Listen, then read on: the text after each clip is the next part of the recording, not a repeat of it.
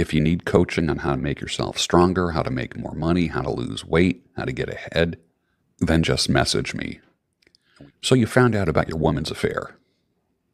And now you're separated, struggling, and wonder what to do. I am sorry to hear about your situation, my brother. Totally sorry about that. Taking a woman back is hard, especially if it's a wife or a long term girlfriend. Can it be done? Yeah, it can be done. But no for most. The betrayal is way beyond what you ever thought. So you have to stand your ground and save the man. I always like to say save the man, not the marriage. I can assure you that you will get through this. I've been doing this professionally for 40 years and I experienced two heartbreaks that were beyond anything that I ever thought in my lifetime. And I landed on my feet. I do have some techniques and some mindset teaching for you if you've gone through that. Do not let your disappointment stifle your life. That's why I say save the man, not the marriage. It's time to get you back, my brother. Could you be friends with your social media connections in real life? That's a great question, right? Can you picture them sitting in your kitchen having coffee with you, or meeting them out for coffee or a drink and having a nice conversation? When it comes to the manosphere, I would say, yes, about 80% of the guys that you probably watch on YouTube are decent guys. But what about the 20%? Fake, creepy, spurgy, weirdos, liars that I wouldn't even let near my family. Many of you, I've messaged you and I said, give me your number.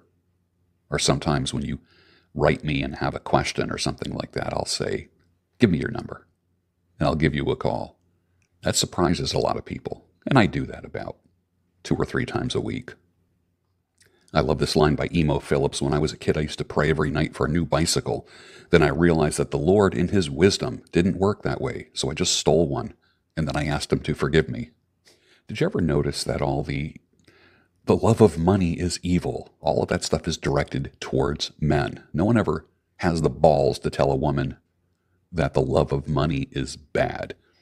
I like to say make money a priority in your life, but don't fall in love with it. Everyone loves to lecture a man about the love of money, but they just want to dance around the topic when it comes to women. I came up with a term that I call breast goggles. You know, like there's beer goggles.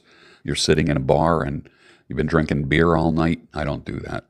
But you're sitting in a bar drinking beer all night, and one o'clock comes rolling around, 1 a.m., and because you've been drinking so much, all the women look good.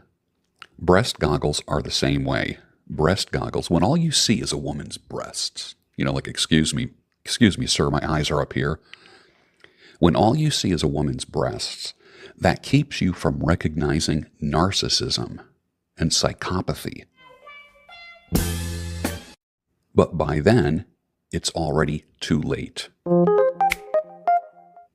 She already wasted your time. It can be months, it can be years, all because of the beauty trap and the breast goggles. How many here are suckers for a nice rack? suckers. How many here prefer a nice rack? There's something about it.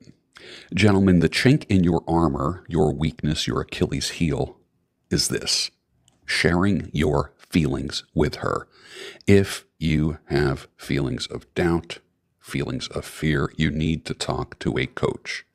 Do not talk to your woman. She's not a garbage can.